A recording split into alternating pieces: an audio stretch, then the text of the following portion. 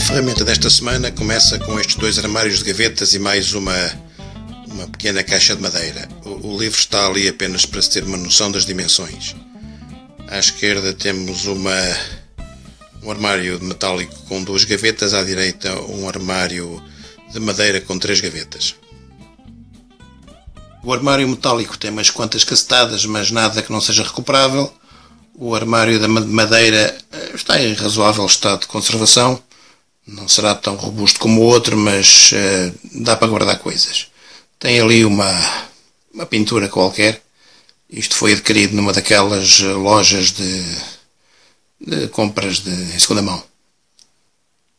Uh, tenho aqui dois gloriosos galos de Barcelos. Este já foi comprado há uns meses e é em cortiça. Tem aqui um, uma camada magnética.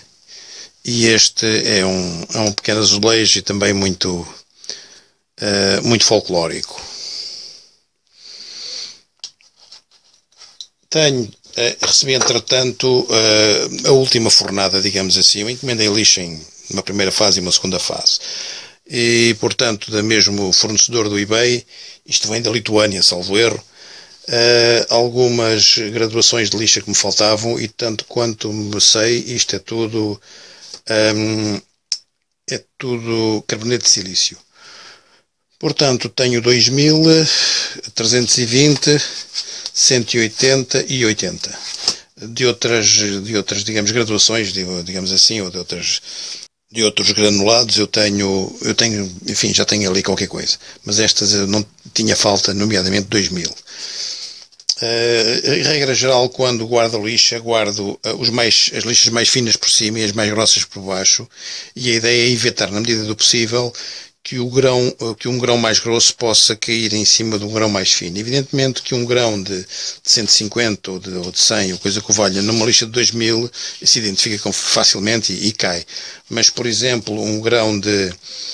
Um grão, um grão, por exemplo, de 150 é capaz de cair para um grão, para uma lixa de 180, ficar por ali eh, e depois eh, deixa marcas quando, quando a lixa de 180 for usada. Portanto, em geral, eh, aliás, eu quando colocar isto ali nas gavetas também, as gavetas mais eh, que têm lixa mais fina são as de cima.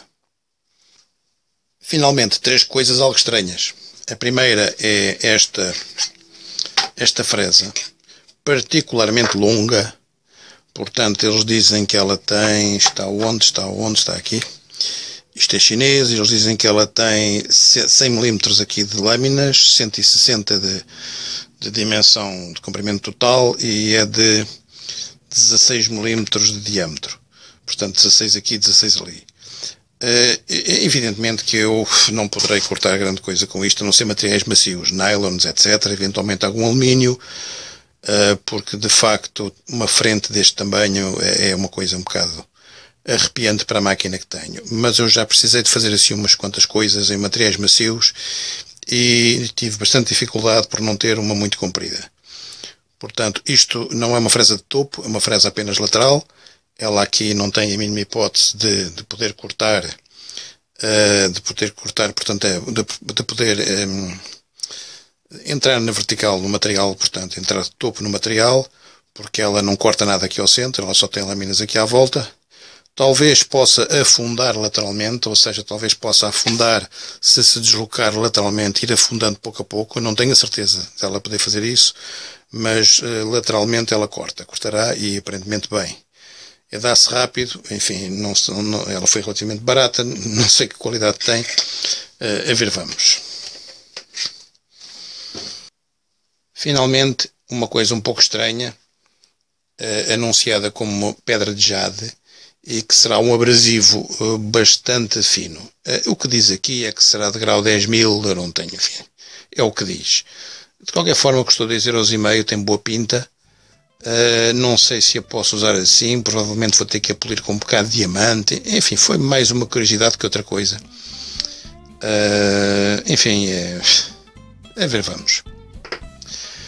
Comprei também esta coisa eu não sei bem onde é que vou usar isto. Isto é um sensor, ou hipoteticamente um sensor com um interface para Arduino, e é um sensor de umidade, de umidade no terreno. Portanto, em princípio, espeta-se esta coisa num vaso, coisa que valha, e depois uh, liga-se isto aqui ao circuito e faz ligação ao Arduino e tal, e programa-se, etc. Eu suponho que isto é mais uma brincadeira que outra coisa, porque a impressão que tenho é que no momento em que isto entrar no terreno, passado 15 dias, digamos, a, a, a química ou a biologia do terreno vão comer o sensor com ervilhas. Mas enfim, uh, vamos ver. É para brincar um pouco.